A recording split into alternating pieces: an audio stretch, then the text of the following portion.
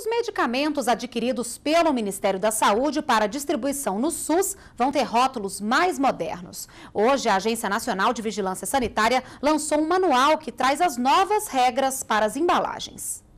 A padronização vale para cerca de 100 remédios, entre eles para o tratamento de AIDS, hepatite, tuberculose, hanseníase e os de alto custo. Desde 2002, esses remédios seguiam esse padrão. Agora, as caixas vão ser assim, com a cor inspirada na bandeira do Brasil. Além da mudança visual, os novos rótulos vão trazer em destaque o nome do SUS e também reforçam a proibição de venda. As secretarias estaduais e municipais de saúde vão poder adotar a nova identidade visual. Daqui para frente, se as secretarias de saúde quiserem exigir dos fornecedores essa embalagem, elas poderão, inclusive porque ele não traz mais a indicação de que é um medicamento do Ministério, mas sim um medicamento do Sistema Único de Saúde. Outra mudança importante é que o nome do princípio ativo agora vai ter mais destaque que a marca do remédio. A letra vai ter, no mínimo, o dobro de tamanho. De acordo com a Anvisa, a medida deve facilitar a identificação do medicamento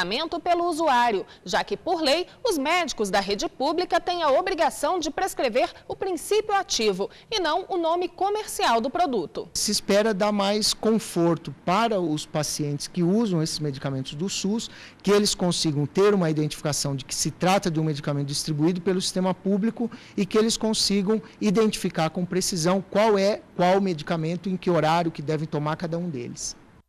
As empresas que fornecem medicamentos ao Ministério da Saúde têm 180 dias para alterar as embalagens. O manual com as mudanças está disponível no site da Anvisa. Caso o usuário tenha alguma dúvida, basta ligar para o Disque Saúde no número 136.